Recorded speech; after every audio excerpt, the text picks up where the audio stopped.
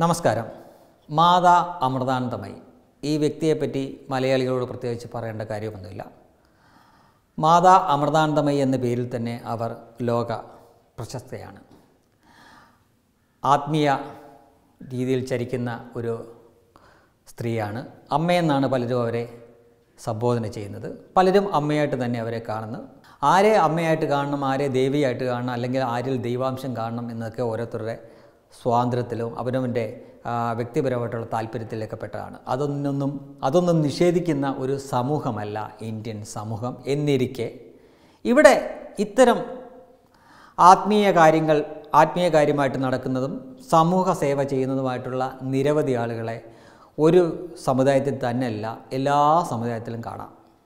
ഇപ്പോൾ ഹൈന്ദവർ പറയുമ്പോൾ അവർക്ക് ശ്രീ എം ഉണ്ട് അതേപോലെ മാതാ അമൃതാനന്ദമയി ഉണ്ട് ശ്രീ ശ്രീ രവിശങ്കറുണ്ട് മുമ്പ് സത്യസായി ഭാവയുണ്ട് അങ്ങനെ നിരവധി ആളുകളെ പറ്റി പറയാറുണ്ട്. അതേപോലെ തന്നെ കാന്തപുരമുണ്ട്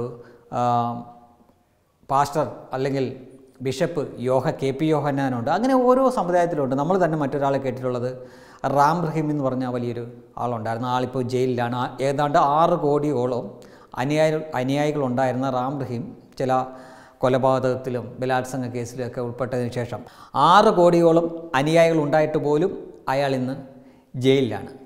പറഞ്ഞു വരുന്ന ഇതാണ്. മാതാ അമൃതാനന്ദമയി എന്ന ഈ അമ്മ എന്ന് വിളിക്കപ്പെടുന്ന ഈ വനിത ഇതുവരെ ഏതെങ്കിലും കേസിൽപ്പെട്ടതായോ അല്ലെങ്കിൽ ദേശവിരുദ്ധ പ്രവൃത്തി നടത്തിയതായതോ നടത്തിയതായോ അല്ലെങ്കിൽ ഏതെങ്കിലും സ്ഫോടന പരമ്പരകൾ അതിന് ചുക്കാൻ പിടിച്ചതായിട്ടോ ഒന്നും ആർക്കും ഒരു പരാതിയില്ല ഒരു ആരോപണമില്ല അവർ ഇന്ന് വരെ ഞാൻ ദേവിയാണ് ദൈവത്തിന്റെ പ്രതിപുരുഷനാണ് പ്രവാചകയാണ് അല്ലെങ്കിൽ അങ്ങനെയാണ് ഇങ്ങനെയാണ് എന്ന് അവകാശപ്പെട്ടതായി നമുക്കാർക്കും അറിയില്ല.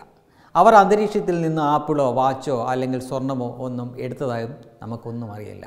ഒരുപക്ഷെ നേരെ ചുവ നല്ല രീതിയിൽ ജനങ്ങളോട് ആശയവിനിമയം നടത്താൻ പോലും അത്ര പ്രാപ്തിയുള്ള ആളായിരിക്കില്ല മാതാ അമൃതാനന്ദമായി എന്ന ഈ വ്യക്തി. പലപ്പോഴും നമ്മൾ കണ്ടിട്ടുള്ളപ്പോഴൊക്കെ അത്ര എളുപ്പത്തിൽ അല്ലെങ്കിൽ അത്ര ഈസി ആയിട്ട് ജനങ്ങളോട് ആശയവിനിമയം ചെയ്യുന്നതായിട്ടല്ല തോന്നിയിരിക്കുന്നത്. എന്നിട്ടും എന്തുകൊണ്ടാണ് ഈ മാതാ അമൃതാനന്ദമയി എന്ന വ്യക്തിക്ക് ഇത്രയേറെ ആരാധകരെ അല്ലെങ്കിൽ ഇത്രയേറെ അനുയായികളെ ലോകത്ത് മൊത്തം ഉണ്ടാക്കാൻ സാധിച്ചത്? തീർച്ചയായിട്ടും വിഷമിച്ചിരിക്കുന്ന അല്ലെങ്കിൽ വേദനിക്കുന്ന മനുഷ്യരാണല്ലോ. ഒരു ആശ്രയത്തിന് വേണ്ടിയിട്ട് ദൈവത്തിനെ അല്ലെങ്കിൽ അതേപോലുള്ള രൂപങ്ങളെ അല്ലെങ്കിൽ അതേപോലെ അമാനുഷിക ശക്തികളുണ്ട് എന്ന് അവർ വിശ്വസിക്കുന്ന ആ ഇടങ്ങളിലേക്ക് പോകുന്നത്. അങ്ങനെ എന്തെങ്കിലും അവർ ഈ വ്യക്തിയിൽ കണ്ടെത്തിയത് കൊണ്ടാവാം ഒരുപക്ഷെ അങ്ങോട്ടേക്ക് പോകുന്നത്. പറഞ്ഞു വരുന്നത് മറ്റൊന്നുമല്ല. മാതാ അമൃതാനന്ദമയി അതിമാനുഷിയോ അല്ലെങ്കിൽ എന്തെങ്കിലും വിചിത്ര ശക്തിയോ അങ്ങനെയുള്ള ആണോ എന്നൊന്നും നമ്മൾ പറയുന്നില്ല. പക്ഷേ കുറച്ച് ആളുകൾ അവരെ അമ്മയായിട്ട് കാണുന്നു. അവരുടെ അടുത്ത് ചെല്ലുമ്പോൾ അവർക്ക് അവരുടെ സാമീപ്യം കിട്ടുമ്പോൾ അവരുടെ വിഷമങ്ങൾ മാറുന്നു. അങ്ങോട്ട് വിഷമങ്ങൾ പങ്കുവെക്കുമ്പോൾ അതിനുള്ള പരിഹാരം അവർ നിർദ്ദേശിക്കുന്നു. അത് വാക്കുകൊണ്ടാവാം അല്ലെങ്കിൽ അവരുടെ അവരുടെ ഏറ്റവും വലിയ പോസിറ്റീവായിട്ട് കാണുന്ന അവരുടെ ആശ്ലേഷമാണ്. അതുതന്നെയാണ് ഒരുപക്ഷെ ലോകത്ത് ഇത്രയേറെ അവർക്ക് ആരാധകരുണ്ടായിക്കൊടുത്തത് ഒരു സ്വന്തം അമ്മയോട് പറഞ്ഞ് ഉള്ളിലുള്ള വിഷമമെന്ന് പറഞ്ഞ് അമ്മയൊന്ന് കെട്ടിപ്പിടിച്ചാൽ തീരാവുന്ന പല കാര്യങ്ങളുമുണ്ട്. പക്ഷേ സമൂഹത്തിൽ ഉയർന്ന തട്ടിൽ നിൽക്കുന്ന ഒരുപാട് ആളുകളുണ്ട്. അവരുടെയൊക്കെ ഈഗോ കൊണ്ടോ അല്ലെങ്കിൽ മറ്റെന്തെങ്കിലും കാരണം കൊണ്ടോ സ്വന്തം അമ്മയോട് അവർ പറയത്തില്ലായിരിക്കാം. ഒരുപക്ഷെ ഇങ്ങനെയുള്ള വ്യക്തികളെയൊക്കെ ചെന്ന് പറയും ഒന്ന് ആശ്ലേഷിക്കുമ്പോൾ അവർക്ക് അതിനുള്ള ആശ്വാസം കിട്ടുന്നു. കാലിൽ വരെ വീഴുന്ന കാഴ്ചകൾ നമ്മൾ കണ്ടിട്ടുണ്ട്. ഐ എസ് വലിയ ഉന്നത ഉദ്യോഗസ്ഥർ അതുപോലെ തന്നെ വലിയ പോലീസ് ഓഫീസർമാർ ഡോക്ടർമാർ സമൂഹത്തിൽ നിലയും വിലയുമുള്ളവരൊക്കെ സിനിമാ നടന്മാരൊക്കെ ചെന്ന് ഈ അമ്മ എന്ന് പറയുന്ന വ്യക്തിയുടെ അടുക്കെ ചെല്ലാറുണ്ട്. അത് അതിനുള്ള സ്വാതന്ത്ര്യം അവർക്കുണ്ട്.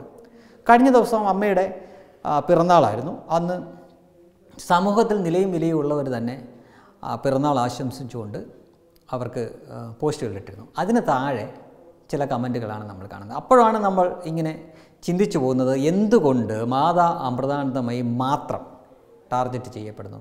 എന്തുകൊണ്ട് ഇതേ നാമധാരികൾ കാന്തപുരത്തിന്റെ താഴെ ചെന്നിട്ട് ഇതുപോലെ പറയുന്നില്ല അല്ലെങ്കിൽ കെ പി യോഹന്നാന്റെ താഴെ ചെന്ന് ഇത് ഇതേപോലെ പറയുന്നില്ല? ഇവരെല്ലാം ചെയ്യുന്നത് ഇത് തന്നെയല്ലേ?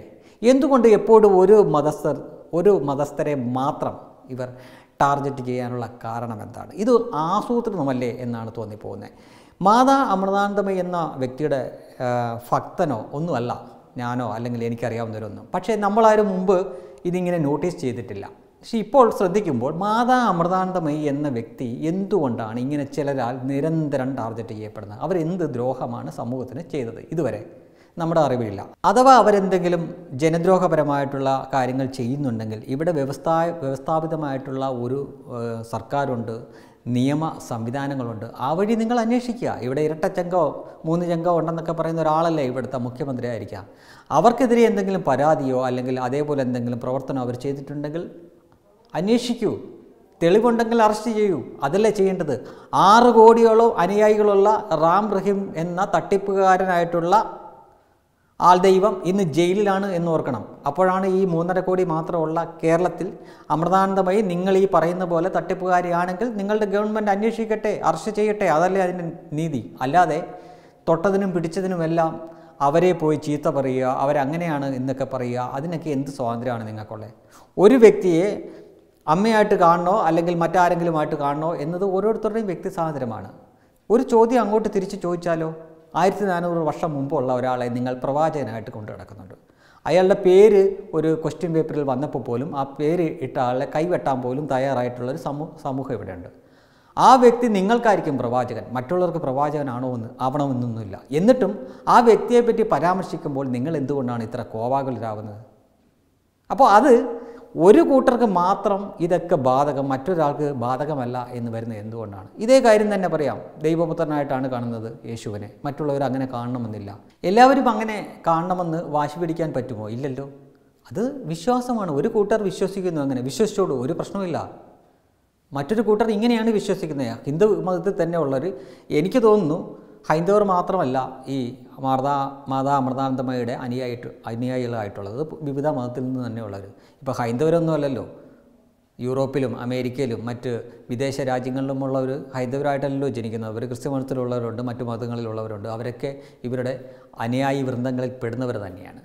അപ്പം നിങ്ങൾക്ക് ഇഷ്ടപ്പെട്ടാലും ഇഷ്ടപ്പെട്ടില്ലെങ്കിലും മാതാ അമൃതാനന്ദമയി എന്ന വ്യക്തിയെ ആരാധിക്കാനും അവരുടെ അനു അനുചരന്മാരായിട്ടും ലക്ഷക്കണക്കിന് ആളുകളുണ്ട് അവരെ അവരുടെ വഴിക്ക് വിടുക. അവർ നിങ്ങളെ അല്ലെങ്കിൽ സമൂഹത്തിനെ ഉപദ്രവിക്കാത്ത കാലത്തോളം നിങ്ങൾക്ക് അവരെ കല്ലെറിയാൻ യാതൊരു അവകാശവുമില്ല. അഥവാ നിങ്ങൾ അവരെ വിമർശിക്കുന്നുണ്ടെങ്കിൽ സമാനമായിട്ടുള്ള കാര്യങ്ങൾ ചെയ്യുന്ന മറ്റു പലരും അവിടെ ഉണ്ട്. അവരെ അവരുടെ നേരെ ഒന്നും നിങ്ങൾ വിരൽ ചൂണ്ടാർ പോലുമില്ല. ഇതാണ് ശരിക്കും പറഞ്ഞാൽ ഇരട്ടത്താപ്പ്. ഇത് പക്ഷേ ഇന്നത്തെ ജനങ്ങൾക്ക് ഇതൊക്കെ മനസ്സിലാക്കാനുള്ള കഴിവുണ്ട് എന്ന് മാത്രം നിങ്ങൾ മനസ്സിലാക്കുക. പ്രവാചകന്റെ തിരികോശം വെക്കാൻ വേണ്ടിയിട്ട് നൂറ് കോടിയുടെ പള്ളി പണിയാൻ നടക്കുന്നു എന്ന് പറഞ്ഞൊരു വ്യക്തി ഇവിടെ നടക്കാറുണ്ട്. നിങ്ങളാരും ആ ആളെ വിമർശിക്കുന്നതായിട്ട് ഞങ്ങളാരും കണ്ടിട്ടില്ല. അതേപോലെ തന്നെ പണ്ടെങ്ങാണ്ട് റേഡിയോയിൽ കൂടെ ഒരു വചനപ്രഘോഷണം പോലെ പ്രഭാഷണ പരമ്പര നടത്തിയാണ് പേരെടുക്കുകയും പിന്നെ സ്വയം പ്രഖ്യാപിത ബിഷപ്പും ഒക്കെ ആയി മാറിയതാണ് കെ പി യോഹന്നാൻ എന്ന വ്യക്തി. ആ വ്യക്തിയുടെ വളർച്ചയെപ്പറ്റി നിങ്ങളാരും വിമർശിച്ചതായിട്ട് ഞങ്ങൾക്കറിയില്ല. പിന്നെ എന്തുകൊണ്ടാണ് നിങ്ങൾ മാതാ അമൃതാനന്ദമയെ മാത്രം ടാർഗറ്റ് ചെയ്യുന്നത്? അങ്ങനെ വരുമ്പോഴാണ് നിങ്ങളുടെ പ്രവൃത്തിയിൽ മറ്റുള്ളവർക്ക് സംശയം തോന്നുക. ഇതൊക്കെ വിശ്വാസത്തിന്റെ ഭാഗമാണ് കേ നിങ്ങളെ അല്ലെങ്കിൽ സമൂഹത്തിനെ ഉപദ്രവിക്കാത്ത കാലത്തോളം അവരവരുടെ വിശ്വാസമായിട്ട് പോയിക്കോട്ടെ. നിങ്ങൾ എന്തിനാണ് അവിടെ പോയി കല്ലെറിയുന്നത്? അതിന്റെ ആവശ്യം എന്താണ്? ഏത് വിശ്വാസനെയും നമുക്ക് നമുക്ക് ചോദ്യം ചെയ്യാം. ദൈവത്തിന്റെ പുത്രനാണ് യേശു എന്ന് പറയുന്നതിനെ ചോദ്യം ചെയ്യാം.